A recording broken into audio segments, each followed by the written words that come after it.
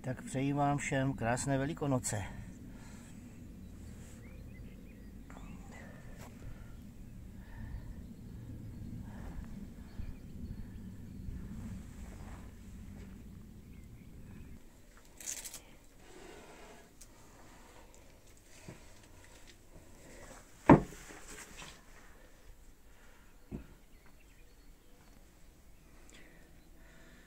Jenom to počasí, kdyby vyšlo.